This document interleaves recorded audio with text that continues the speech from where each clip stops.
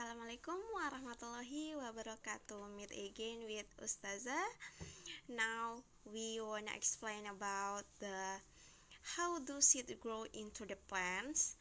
And based on your task in the last meeting Ustazah give you uh, for make it the project about the seedlings ya yeah? seedlings. Uh, Ustazah get uh, give you uh, red beans red beans and uh, for your observation please please watering your seed your plants becoming adult plants yeah?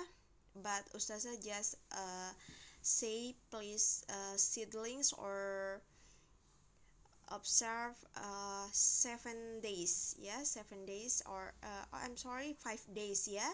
And you uh, can make it the make it the video for how to the process uh, from seed into the seedlings or uh, or in adults plant okay uh, how do seeds grow? Uh, this is the you can see this is the seeds yeah like uh, eh, this is the biji this is the seeds and then uh, the seeds if we seedlings or planting in a soils we can uh, maybe the five days and but I think it's the three days uh, this is the uh, roots can uh, show you and uh, this is the different about the seeds and seedlings ya. Yeah?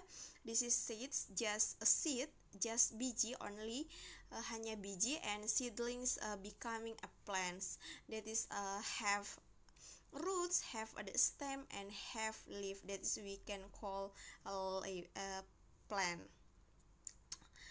okay uh, from the seeds grow into young plants or seedlings. The seedlings then grow into adult plant. This picture shows the how a sunflower seeds grow into a seedlings.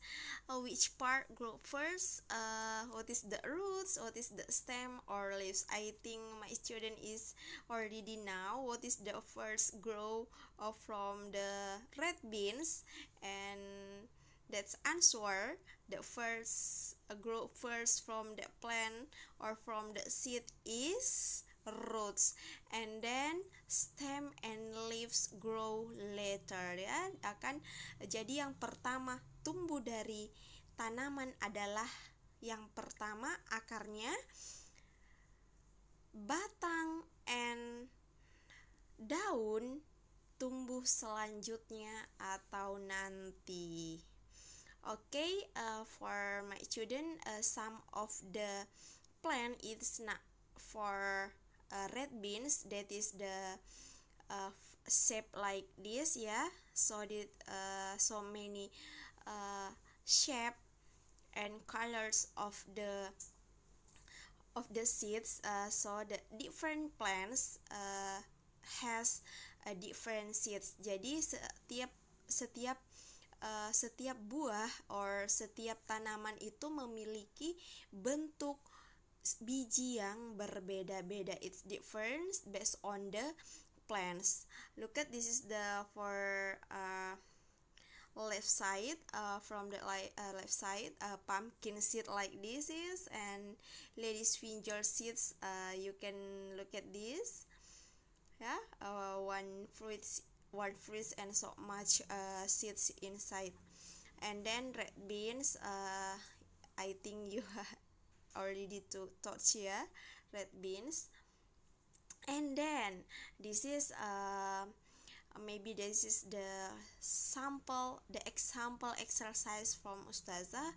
Uh, this is the how to uh, please arrange uh, what is the first of the seed into seedlings from the pumpkin seeds. Uh, you can write what is the first?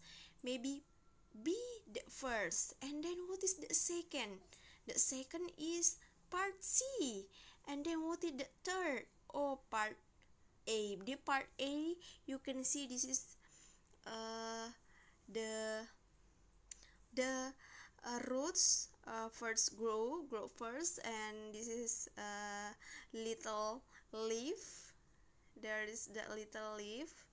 And then this is the becoming a young plant. This is yeah becoming a young plant. Okay uh, my student I think that is the explanation from Ustazah. And maybe uh, Ustazah has a conclusion so this is the of the seeds grow into the seedlings into the seedlings and the seedlings will be grow into a adult plants jadi uh, tanaman tanaman muda berasal dari biji. Biji akan tumbuh menjadi tanaman muda and tanaman muda akan tumbuh menjadi tanaman yang dewasa. And then the plants need a water. Uh, I think in your simple observation you watering uh, every day ya. Be because if we not watering every day our our plants the plants uh, will be die because the because the plants is dry ya jadi bisa mati karena kekeringan. And then uh, for uh, the third conclusion the from seed uh, the uh, for the grow first is roots and the stem and leaves will be grow later ya. Okay I think that is the explanation from Ustazah. Ustazah say thank you very much. And Assalamualaikum warahmatullahi wabarakatuh